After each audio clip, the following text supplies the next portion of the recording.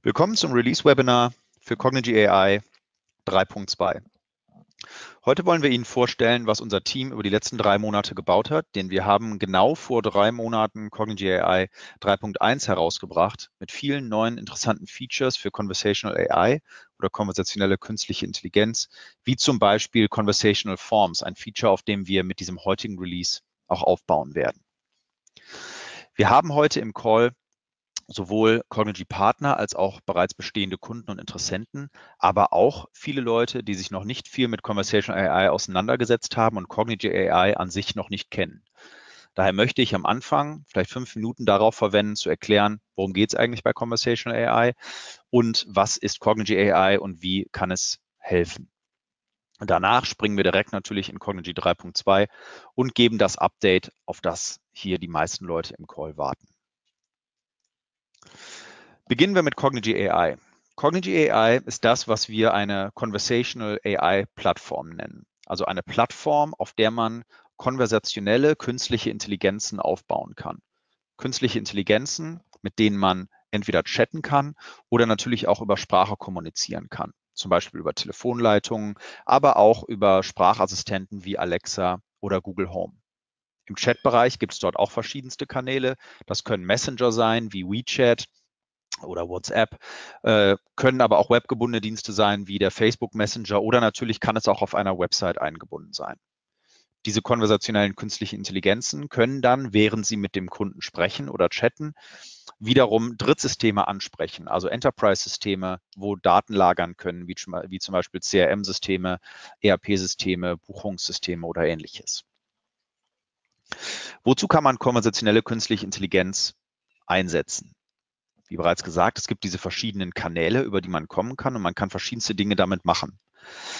Der Hauptpunkt, wo es heutzutage eingesetzt wird, ist eigentlich der Kundenservice. Dass Kunden zum Beispiel auf eine Website kommen können, dort mit einem Chatbot kommunizieren können und über den Chatbot dann Hilfe bekommen. Das können verschiedenste Dinge sein. Das kann die einfache Beantwortung von Fragen sein. Wo kann ich dies machen? Wo kann ich das machen? Das können aber auch wesentlich komplexere Dinge sein, wie zum Beispiel Buchungen ändern oder ähnliches. Der zweite Punkt, den wir ähm, im Markt sehr viel sehen, ist sogenannte Business Process Automation. Das ist die Prozessautomatisierung von firmeninternen Prozessen. Also zum Beispiel HR-Prozesse, Prozesse im Einkauf und ähnliches. Also alles replizierbare Prozesse innerhalb von Großunternehmen, die über eine konversationelle Schnittstelle vereinfacht und angeleitet werden können. Es gibt viele weitere Einsatzmöglichkeiten, auf die ich gar nicht jetzt hier im Detail alle eingehen möchte. Das geht von E-Commerce-Bots bis hin zu konversationeller künstlicher Intelligenz, die eingebaut ist in zum Beispiel ein Auto oder in eine smarte Küchenmaschine oder ähnliches. Also wenn man sich eigentlich hinsetzt in einem Großunternehmen und schaut, wofür kann das Ganze eingesetzt werden, findet man etliche Use Cases, ähm, wo man konversationelle künstliche Intelligenz gut einsetzen kann. An dieser Stelle vielleicht eine kurze Demo unseres Systems und danach springen wir, wie angesagt, direkt in Cognigy 3.2. Sie sehen jetzt auf meinem Schirm Cognigy AI. Und zwar sind wir hier in, äh, in einem Projekt. Wir sehen ein bisschen Analytics hier auf der rechten Seite. Und wir beginnen vielleicht mal einfach mit dem, was denn dann am Ende rauskommt. Man kann natürlich über verschiedene Kanäle ausspielen. Hier in der Demo benutze ich jetzt das, was wir einen Webchat nennen. Ein Webchat, also ein Chat auf einer Website eingebunden, jetzt hier mittig dargestellt. Es könnte auch unten rechts sein, wie das oft ist, wo wir einfach mit dieser konversationellen künstlichen Intelligenz chatten können. So, jetzt habe ich einen neuen User emuliert. Der User kommt also auf die Website und ähm, spricht jetzt mit einem Bot. Und der Bot sagt hier, wo würden Sie gerne ähm, in den Urlaub hinfahren. Ich kann äh, dabei helfen, Hotels zu buchen in äh, Tokio oder Bangkok. Und der Kunde könnte jetzt zum Beispiel, wir haben diese Demo jetzt hier auf Englisch, aber es geht natürlich auch auf Deutsch. Wir könnten jetzt sagen, äh, I want to uh, go to Tokyo. Und äh, dann bekommen wir ein paar Hotels in äh, Tokio angezeigt. Jetzt können wir davon eins auswählen. Dann bekommen wir den Preis und könnten jetzt da durch den Prozess gehen, eine Buchung durchzuführen. Wir könnten aber auch sowas sagen, zum Beispiel wie, oh, a bit expensive, how about uh, Bangkok instead? und äh, bekomme jetzt dann Hotels in Bangkok angezeigt. Das heißt, ich muss gar nicht wissen, wie ich Dinge unbedingt sagen können muss, sondern ich kann einfach in natürlicher Sprache kommunizieren und kann dann ähm, über das System, das mich versteht, zu meinem Ziel kommen. Jetzt habe ich zum Beispiel hier dieses Hotel in Bangkok. Ich würde jetzt gefragt werden nach Ankunftsdatum, Abreisedatum, Vorname, Nachname, kann die jetzt nacheinander eingeben, nachdem ich zum Beispiel bestätigt habe, dass ich dieses Hotel buchen möchte, kann aber auch die Daten direkt ähm, alle ähm, zusammen eingeben. Zum Beispiel, indem ich jetzt sage, ähm, from tomorrow until next Monday. Und dann werde ich halt direkt nach meinem Vornamen gefragt und diese Daten werden nicht mehr abgefragt. Das vielleicht so ein bisschen zu der Art Intelligenz, die man dort zur Verfügung stellen kann. Und wenn man sich anschaut, wie das Ganze in Cognigy aufgebaut ist, es wird in sogenannten Cognigy Flows und Prozessen aufgebaut. Hier haben wir einen Cognigy Flow, eine grafische Abbildung dieser Konversation. Und diese kann ich auch hier drüber testen, indem ich einfach hier im sogenannten Interaction Panel mit dem Bot chatte und ich kann immer sehen, welcher Pfad denn da genommen wird. Beispielsweise ich wähle Tokio aus, wird dieser Pfad hier unten genommen und dann werden mir die Hotels in Tokio angezeigt. Wenn ich eine Veränderung machen möchte, gerade sehr einfach für nicht technische Nutzer, kann ich hier reingehen, kann einfach auf die Node klicken und kann jetzt hier den Content, also das, was denn da herauskommt, je nach Kanal sogar eigens bearbeiten. Das heißt, wenn ich über den Messenger komme, kommt beispielsweise diese ähm, Anzeige heraus oder über den Webchat, das ist das gleiche wie der Messenger. Wenn ich über Alexa komme, könnte ich etwas anderes eingeben. Beispielsweise könnte ich dort mit einem äh, Aloha starten und dann dort dieses sogenannte Alexa SSML eingeben. So viel vielleicht zu Cognigy allgemein. Und jetzt schauen wir uns an, was Cognigy 3.2 denn für Neuerungen bringt. Unsere Kunden fangen meistens mit dem Use Case der sogenannten FAQs an. FAQs sind sogenannte Frequently Asked Questions, also Fragen, die häufig gestellt werden gibt es ja auch bereits oft auf einer Website, wo wir dann eine Liste von Fragen und Antworten haben. Und viele unserer Kunden fangen ähm, ähm, gerne damit an, diese Fragen in, in einem konversationellen Interface abzubilden, oft halt in einem Chatbot oder auch äh, über so etwas wie Alexa. Das heißt, der Kunde stellt eine Frage, das System findet heraus, was könnte diese Frage meinen und liefert dann die korrekte Antwort. Eine andere Frage, eine andere Antwort. Was wir aber jetzt sehen, ist, dass viele unserer Kunden nach diesem ersten Schritt dann gerne den nächsten Schritt gehen möchten und eigentlich volle Prozesse automatisieren wollen. Und das ist das, was wir hier mit Cognigy AI 3.2 enablen wollen. Wir nennen es The Era of Conversational Processes. Also konversationelle Prozesse, Prozessautomatisierung über die Nutzung von Conversational AI, also konversationeller künstlicher Intelligenz. Wie gesagt, die meisten fangen mit diesen FAQs an. Die sehen wir hier auf der linken Seite. Jemand sagt zum Beispiel, ich möchte meine Buchung ändern und der Bot sagt, Sie können Ihre Buchung ändern, indem Sie auf die und die URL gehen. Jetzt sagt jemand anders, hey, wo kann ich meine Buchung ändern? Dann findet, weiß der Bot, okay, das ist zwar ein anderer Satz, der bedeutet aber das Gleiche, also gebe ich die gleiche Antwort. Wieder jemand anders kommt rein und sagt, hallo, wo kann ich meine Buchung ändern? Auch das ist der gleich, hat die gleiche Bedeutung und bekommt die gleiche Antwort. Was der Bot also macht, ist, er gibt Informationen, hilft aber jetzt nicht wirklich dabei, das Problem des Kunden zu beheben. Das ist, wo die Prozesse ins Spiel kommen. Die Prozesse können den Kunden, können dem Kunden dabei helfen, das tatsächliche Problem zu beheben und können direkt durch den kompletten Prozess beispielsweise einer Buchungsänderung führen. Wenn wir uns das Ganze mal in Prozesssicht anschauen, Viele hier im Call, die vielleicht mal mit Business Process Management gearbeitet haben, kennen diese Art ähm, Graphen, die wir hier auf der rechten Seite sehen. Man kann also diese Konversationen auf eine Art Business-Prozess mappen. Beispielsweise hier finden wir am Anfang heraus, was ist eigentlich der Intent? Worum geht es eigentlich? Was möchte der Kunde? Ach, er möchte seine Buchung ändern. Dann fragen wir nach der Buchungs-ID und validieren diese. Dann fragen wir nach der E-Mail-Adresse und validieren diese. Und danach ziehen wir die Buchung aus einem Buchungssystem heraus. Jetzt haben wir hier auf der rechten Seite weiterhin die FAQs dargestellt. Das bedeutet, dass wir, während wir durch den Prozess gehen, natürlich auch weiterhin FAQs abfragen können. Das heißt, ich kann FAQ-Fragen trotzdem weiterhin stellen, auch wenn ich in diesem anderen Prozess der Buchungsänderung drin bin. Ein wichtiger Punkt ist, dass diese Prozesse mit Drittsystemen kommunizieren müssen. Beispielsweise gebe ich die Buchungs-ID ein, diese muss validiert werden. Das könnte lokal gemacht werden, das könnte aber auch über ein Drittsystem oder ein Stück Code gemacht werden. Dann wird eine E-Mail-Adresse eingegeben. Dort möchte ich herausfinden, gibt es diesen User überhaupt bei uns im CRM-System und frage zum Beispiel Salesforce ab. Und nur wenn ich diese beiden Dinge bekommen habe, greife ich dann wiederum auf ein drittes System zu, beispielsweise ein Buchungssystem. Und ähm, hier in diesem Buchungssystem bekomme ich dann die Buchung des Kunden zurückgegeben. Es ist also ganz wichtig, dort ähm, mit verschiedensten Drittsystemen integrieren zu können, denn nur dann kann man tatsächlich Businessprozesse automatisieren. In Cognigy 3.2 haben wir für diese Prozessautomatisierung mehrere neue Features zur Verfügung gestellt. Das erste nennen wir Conversational Processes.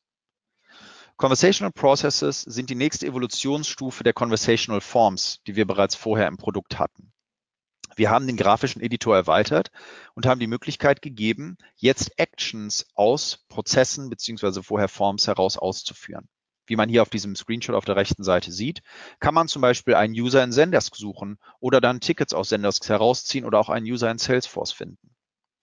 Das Schöne ist, dass diese Actions in den Prozessen eigentlich Cognigy Flows sind, also auf der Power des Cognigy Flow Editors basieren und jeder kann diese Actions direkt bei sich im System bauen.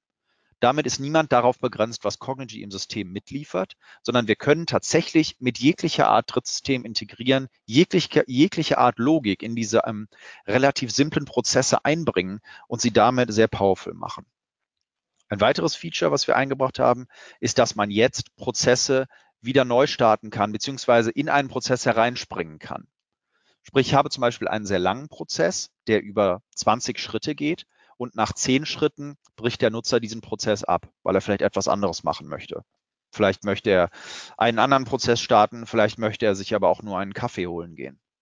Oder vielleicht hat er Arbeitsschluss und kommt am nächsten Tag wieder und möchte den Prozess dann wieder, ähm, wieder ähm, weiterführen.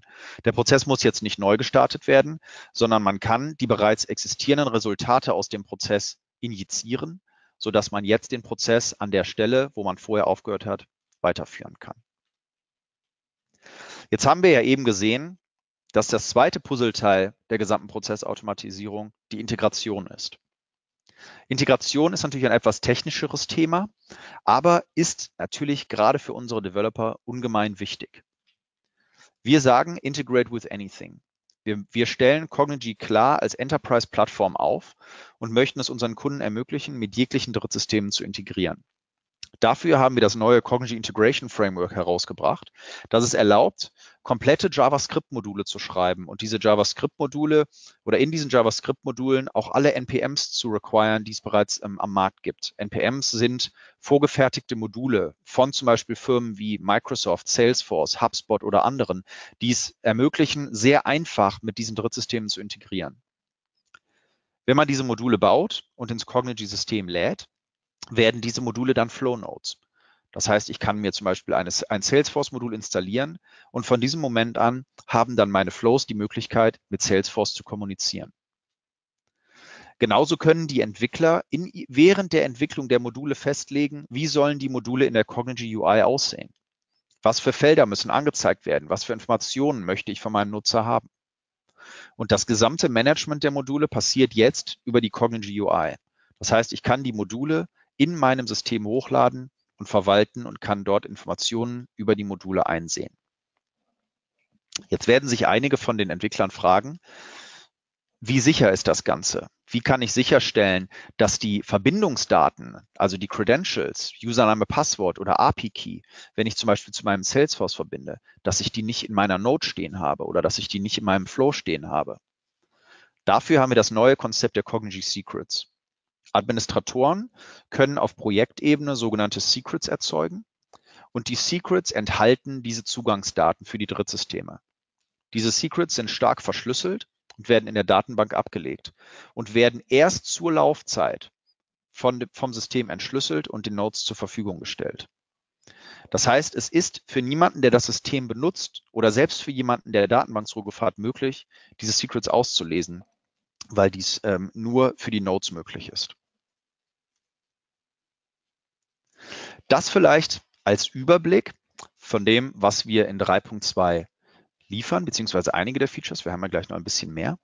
Und ich zeige das Ganze jetzt auch mal direkt bei uns im System. Wir gehen also zurück zu Cognigy und beginnen vielleicht wieder mit einem Webchat. Diesmal der Support Webchat.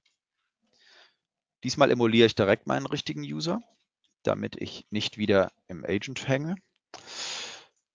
Starte und dies ist der Cognigy Support Webchat. Und ähm, dieser hilft unseren Kunden dabei, Informationen über ihre Support-Tickets zu bekommen. Jetzt komme ich rein und ich werde gesagt, okay, willkommen beim ähm, Cognigy Support. Wie kann ich helfen? Und ich sage zum Beispiel sowas wie, I have a question about uh, one of my tickets. Der Bot erkennt, was ich möchte und fragt nach meiner E-Mail-Adresse. Diese gebe ich jetzt ein. Und der Bot macht jetzt einige Dinge für uns. Er sagt, let me see if I can find you, guckt nach in unserem CRM-System, was HubSpot ist, ob ich existiere, findet mich, gibt Vor- und Nachname zurück und sagt, lass mich nach deinen Tickets suchen. Das Ganze ist jetzt hier vereinfacht dargestellt. Normalerweise würden wir natürlich sagen, okay, Sie wurden im CRM-System gefunden, bitte geben Sie uns Ihren Access-Token oder so etwas in der Art. Aber für das Webinar haben wir diesen Schritt jetzt ausgelassen. Was jetzt hier nach der Suche im CRM gemacht wird, ist, wir führen jetzt noch eine Live-Suche in unserem Support-System ähm, Zendesk aus und zeigen die Tickets hier in einer Liste und sagen, jetzt such dir doch ein Ticket aus, über das du sprechen willst. Ich suche ein Ticket aus, das Ticket wird geladen und ich könnte jetzt Fragen über dieses Ticket stellen. Genauso könnte ich hereinkommen und sagen, okay, ich bin ein neuer Kunde, ich möchte einen Bug reporten. Jetzt werde ich nach einer E-Mail-Adresse gefragt. Ich sage zum Beispiel Phil 123456 at cognigy.com. Er geht jetzt ins CRM-System, versucht uns zu finden, kann uns aber nicht finden und sagt, okay, bevor wir anfangen können, gib mir doch ein bisschen mehr Informationen. Beispielsweise sage ich jetzt, okay, ich bin Phil, mein Last Name ist Heltewig. Was er jetzt macht, ist, er erstellt diesen User im CRM-System, fragt mich jetzt, ob ich ein Support-Ticket eröffnen möchte und führt mich jetzt durch diesen Prozess. Wenn ich jetzt in unser CRM-System schaue, was wir hier haben, und ich nach der Person suche, die ich gerade erstellt habe, können wir sehen, dass der User tatsächlich direkt bei uns im CRM-System erstellt wurde und verfügbar ist, wenn er denn jetzt hier laden würde. Dort. Und sogar direkt zur richtigen Firma zugeordnet wurde und so weiter und so fort. Wie funktioniert das alles? Wie enabled Cognigy diese Funktionalität? Wir haben die neuen Processes. Hier auf der linken Seite kann man diese einsehen und erstellen. Die Processes sind genau wie die Forms, die wir vorher hatten. Man kann jetzt noch eine neue Sache erstellen, aber auch die drei ähm, Elemente, die man vorher erstellen konnte. Man kann Messages erstellen, man kann Questions von verschiedenen Arten erstellen, man kann Conditions erstellen und man kann Actions erstellen. Wir beginnen also damit, nach der E-Mail-Adresse zu fragen sagen dann eine Message, let me see if I can find you und führen dann Find User in HubSpot aus. Wenn der User gefunden wurde, begrüßen wir den User und sagen dann, let me look up your tickets und suchen dann die Tickets in Zendesk. Wenn der User nicht gefunden wurde, sagen wir, looks like you haven't been here before. Before we get started, I need some more information. What's your first name, last name? Und erstellen dann den User in HubSpot. Super simpel. Und ich kann als, äh, als End-User, als Business-User ganz einfach Actions hinzufügen. Ich sage eine Action und wähle mir dann die Action aus dieser Liste hier aus, die Action, die ich benutzen möchte. Jetzt stellt sich die Frage, wo kommen diese Actions her? Einige haben es vielleicht bereits gesehen. Die Actions sind auf der linken Seite hier Cognigy Flows. Wenn wir uns zum Beispiel die Find User in HubSpot Action mal anschauen, das ist einfach ein Flow, der ein Find Contact bei E-Mail ausführt und dann, wenn kein Contact gefunden wurde, also wenn HubSpot einen Error schmeißt, diesen äh, Kontexteintrag wieder entfernt. Wenn wir da mal reinschauen, wir benutzen ein Secret, nämlich das HubSpot Secret, wo meine HubSpot Zugangsdaten drin sind. Die E-Mail-Adresse kommt aus dem äh, Process, den wir vorher ausgeführt haben und das Ganze wird dann in den Kontext unter HubSpot abgespeichert. Gucken uns nochmal einen anderen an beispielsweise Find Tickets in Zendesk. Der Find Tickets in Zendesk äh, Process ist etwas komplexer. Da machen wir einen sogenannten Zendesk Query. Ähm, dann, wenn wir ein Ticket gefunden haben, formatieren wir die Tickets auch direkt und geben sie in Form einer Liste aus. Das kann man grafisch machen. Das habe ich jetzt hier über Code gemacht, um es mir einfach zu vereinfachen und um zu zeigen, wir können natürlich auch in den Processes vollen Code benutzen. Was das also bedeutet, ist, dass Superuser oder Entwickler diese Art Actions vorbereiten können und dass Business-User diese dann nutzen können, ohne wissen zu müssen, was für eine Komplexität steht eigentlich dahinter und wie kann ich das Ganze einsetzen. Ich muss nur wissen, und das kann ich hier in diesem Informationsfeld rausfinden, was brauche ich für diese Find User und HubSpot Funktion? Aha, ich brauche eine E-Mail. Gut, das heißt, ich muss eine E-Mail-Frage haben und sobald ich diese E-Mail-Frage habe, kann ich diese Action nutzen. Viel einfacher geht es eigentlich schon kaum mehr und viel mächtiger geht es eigentlich auch schon kaum mehr, weil das bedeutet, dass wir nicht oder dass Sie als unsere Kunden und Partner nicht davon limitiert werden, was Cognigy mitliefert, sondern Sie können tatsächlich jede Art von Action selber erstellen, jede Art von Logik selber erstellen, jede Art von Integration selber erstellen. Das bringt mich zum Cognigy Integration Framework. Man hat ja jetzt zum Beispiel hier in dem Find User in HubSpot Flow gesehen, wir haben hier eine HubSpot Node. Da werden sich jetzt einige der schon ähm, älteren äh, Cognigy-User ähm, gefragt haben, wo kommt diese Node eigentlich her? Es gibt einen neuen Menüeintrag, der da Modules heißt. Und dies sind Module, die ich bei mir ins System installiert habe. Bei mir ins System heißt bei mir für meine Organisation. Das heißt, für jede Organisation existiert, existieren diese Einträge eigens. Natürlich hat nicht jeder jedes Modul. Bei HubSpot haben wir jetzt eine Anzahl von Funktionen, die dieses Modul ähm, bereitstellt. Bei Zendesk beispielsweise eine ähm, andere Ansammlung von Funktionen. Diese Module können ins Cognigy-System über den Punkt Integration Framework hereingeladen werden, indem ich einfach ein Cognigy-Modul hier reinziehe. Das ist ein verschlüsseltes, gezipptes Paket. Und dann erscheint es hier in der Liste mit äh, Informationen, auch wie die Secrets aussehen müssen und ähnliches und können dann in den Cognigy Flows benutzt werden. So viel zu den Processes und zum Integration Framework. Jetzt ist natürlich die Frage, müssen diese Module alle selber erstellt werden oder gibt es bereits Module? Und natürlich gibt es bereits Module, die wir gebaut haben. Wir announcen heute, dass wir uns auch dem Gedanken des Open Source verschrieben haben und wir alle die Module, die wir gebaut haben, auf GitHub Open Source zur Verfügung stellen. Wir laden alle ein, daran mitzuarbeiten oder die Module natürlich als quasi Blueprints dafür zu nehmen, was selber gebaut werden soll. Es gibt detaillierte Documentation auf unserer Documentation Page und im GitHub Repository. Damit sollte es jedem möglich sein, relativ einfach und schnell neue Module bauen zu können. Ich möchte ein Beispiel geben. Ich habe als Test, als wir dieses Feature gebaut haben, das Salesforce-Modul entwickelt. Das Salesforce-Modul verbindet sich zu Salesforce und führt einen sogenannten SOQL Query aus, einen Salesforce Object Query Language äh, Query. Damit kann ich alle Daten aus Salesforce abrufen und verändern. Das Bauen dieses Modules hat tatsächlich 20 Minuten gedauert. Es geht also wirklich mit dem Integration Framework ungemein schnell neue Systeme anzubinden. Und man kann nicht nur neue Systeme anbinden, sondern man kann zum Beispiel auch native Funktionalitäten wie Verschlüsselung und so etwas jetzt in Flows verfügbar machen, weil man natürlich den, den äh, vollen Zugriff auf alle Module auch von Node.js hat, worauf das Ganze basiert. Die zweite Sache, die wir heute announcen, ist der Cognigy Live Chat.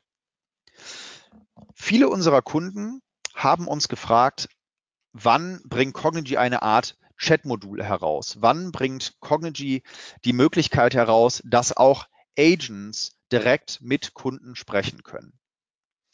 Das ist etwas, was wir jetzt hier nativ mit in unser System eingebaut haben. Vorher war dies bereits möglich über verschiedenste Kanäle wie Facebook, Twilio oder Intercom, die denn da Handover nativ ähm, unterstützen. Aber wir haben das Ganze jetzt hier direkt eingebaut für eine große Anzahl von Kanälen, Facebook, Line, Webchat und andere und das Ganze direkt in Cognigy AI integriert. Was das bedeutet, ist, dass wir nicht den Chat einfach nur übernehmen können und mit dem Kunden chatten können, sondern wir können auch als Agents AIs hinzuziehen, die uns bei der Kommunikation mit dem Kunden unterstützen.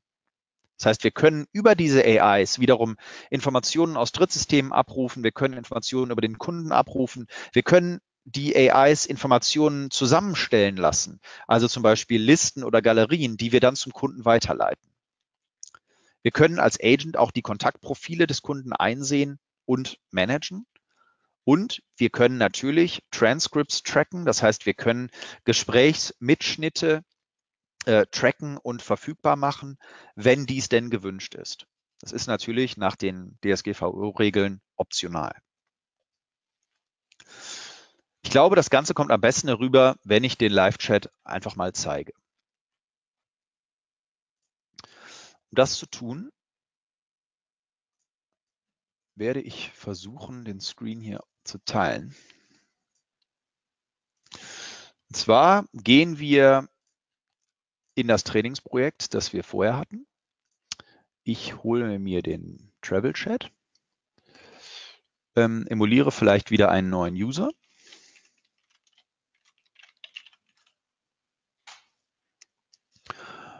Und ähm, kann jetzt mit diesem User hier einfach chatten und hier auf der rechten Seite lege ich jetzt mal den Live-Chat hin. Ups. So. Jetzt sagen wir mal, dieser User vertippt sich andauernd und sagt, where would you like to go? Und der User schreibt so etwas wie Bangkok. Er will nach Bangkok, aber er verschreibt sich.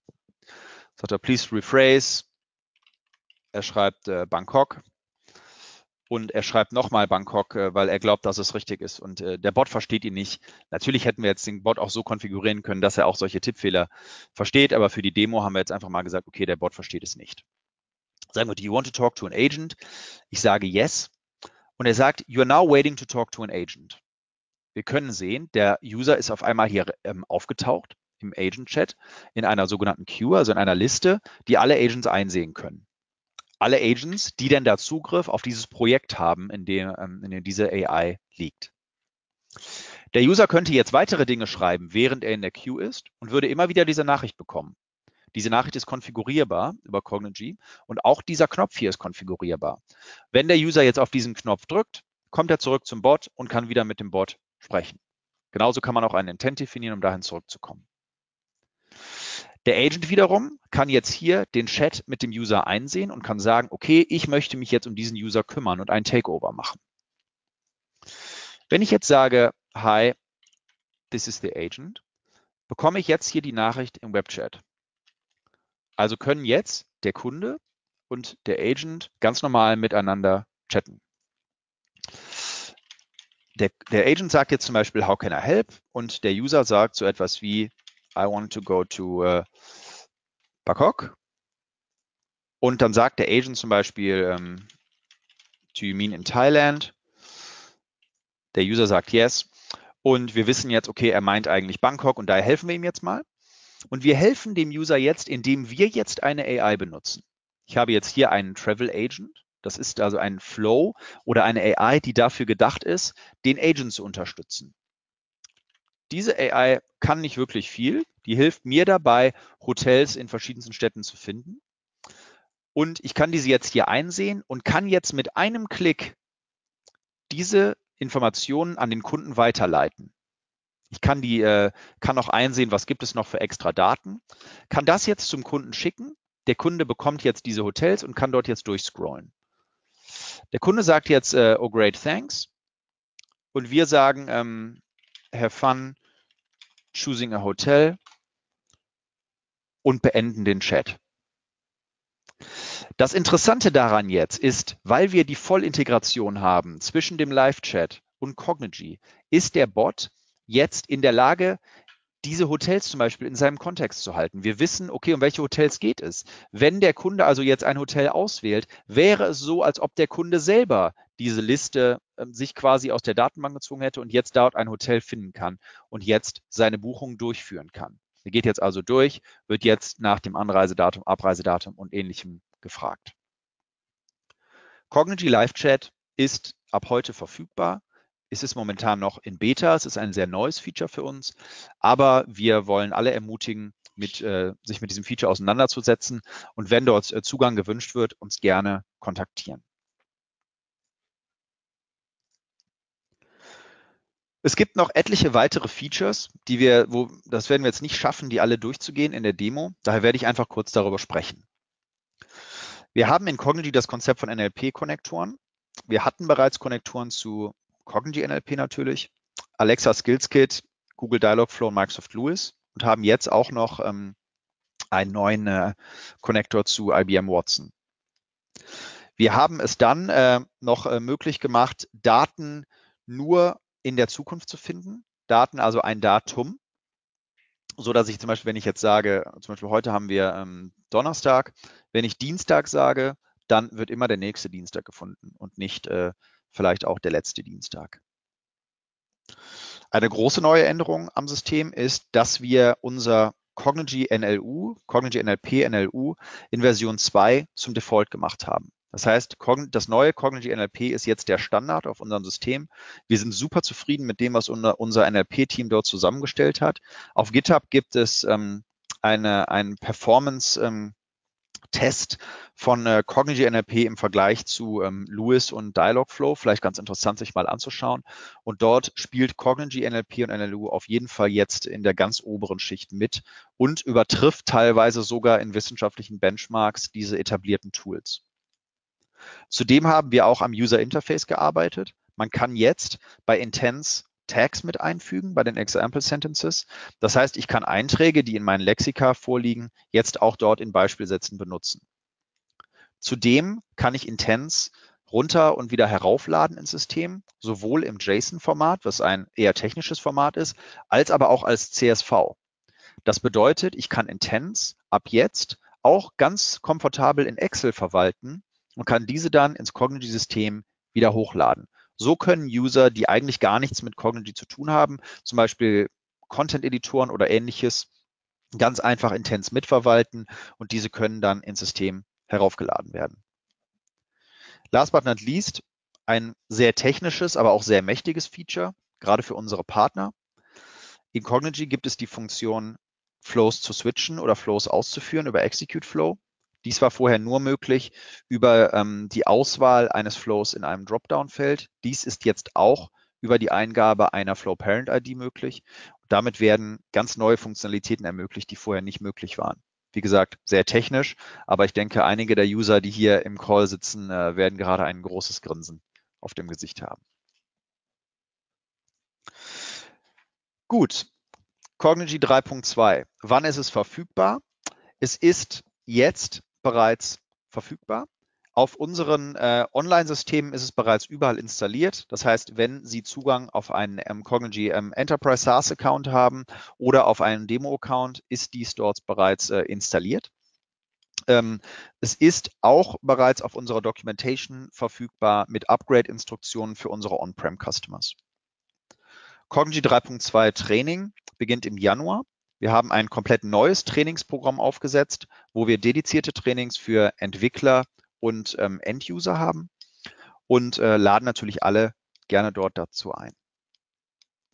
Wenn Sie gerne eine eigene Demo haben möchten, eine, äh, eine Session mit einem unserer Sales Reps oder Techniker, die durch Cognigy 3.2 oder Cognigy allgemein führen, dann können Sie die gerne ähm, bei uns anfragen, entweder per E-Mail, meine E-Mail-Adresse ähm, kommt jetzt gleich auf der nächsten Seite, oder aber auch auf dieser URL hier unten hello.cognigy.com slash cognigy-demo. Jetzt ist noch kurz Zeit für Fragen. Daher schaue ich mal kurz in das System herein, was denn für Fragen gestellt wurden.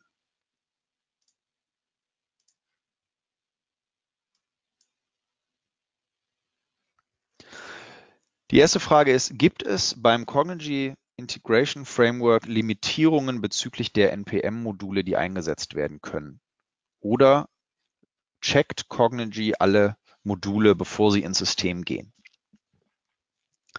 Allgemein gibt es im Integration Framework keine Limitierung, welche NPM-Module eingesetzt werden. Es gibt sogar noch nicht mal eine Limitierung, was für Code geschrieben wird.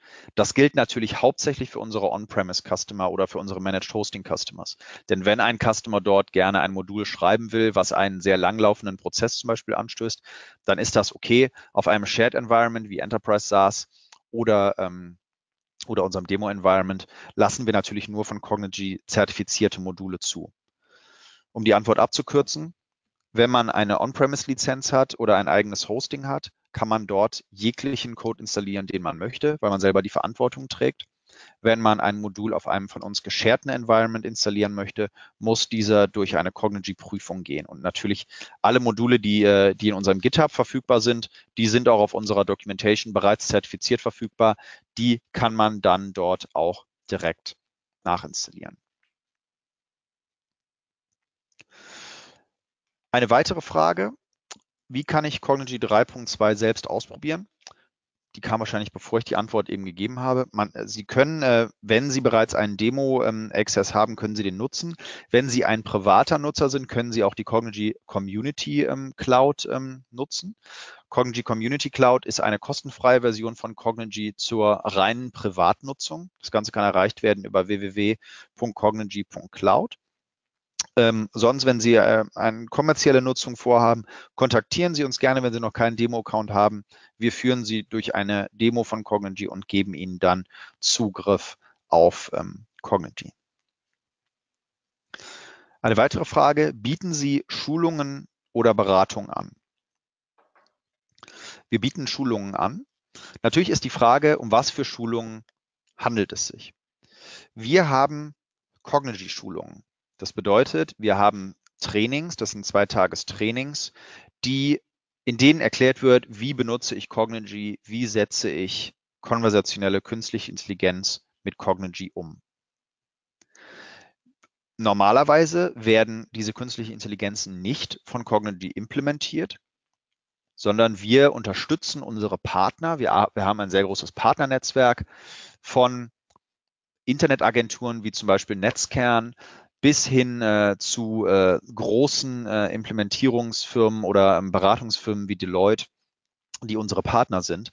Und wir unterstützen diese Partner dabei, konversationelle künstliche Intelligenz zu implementieren. Wir haben dort eine große Ansammlung von Partnern. Ich habe jetzt einfach nur zwei randommäßig herausgegriffen. Ähm, die unterstützen wir dabei, Cognigy zu implementieren. Wir führen allerdings teilweise mit diesen dann auch zusammen Beratungen durch, weil wir natürlich echte Conversational AI-Experten im Team haben, wie zum Beispiel ähm, Sascha Wolter, der dann nicht nur dabei hilft, wie implementiere ich die ganze Sache, sondern auch, wie strukturiere ich äh, konversationelle künstliche Intelligenz und so weiter und so fort. Dazu vielleicht, wir haben auch im Januar ein Meetup für äh, Kunden und Partner. Es ist bereits sehr gut gebucht. Wir mussten, ähm, wir mussten das Buchungslimit hochsetzen. Aber ähm, wenn dort Interesse besteht, gerne auch an uns herantreten. Das Meetup wird, äh, ich glaube, es ist im Februar, am äh, 7. Februar, wenn ich mich nicht täusche, äh, in Düsseldorf. Laden dort gerne zu ein. Es ist kostenlos. Dort äh, kann man Leute vom Cognigy-Team treffen, Neues über Cognigy lernen. Äh, Sascha Wolter wird dort auch präsentieren. Und ich glaube, das ist für alle ähm, ganz interessant. Ähm, gut, was haben wir noch? Ich versuche mich gerade immer hier durchzulesen. Wird dieses Webinar im Nachgang zur Verfügung gestellt? Ja, wir werden dieses Webinar im Nachgang auf YouTube hochladen und dann dort zur Verfügung stellen. Ich sehe, es gibt noch ein paar weitere Fragen. Wir werden einfach im Nachgang an die herantreten, die wir jetzt hier nicht äh, live beantworten konnten und werden die Fragen dann dort beantworten. Vielen Dank für Ihr Interesse an Cognigy, an Conversational AI und unserem neuen Release.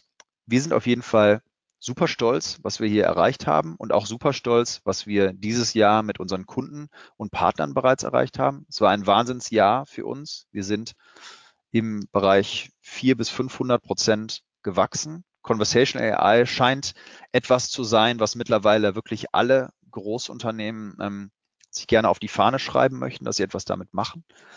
Und ähm, wir freuen uns super auf 2019 und Sie alle dabei zu unterstützen, wirklich außergewöhnlich gute Conversation AI-Lösungen zu produzieren.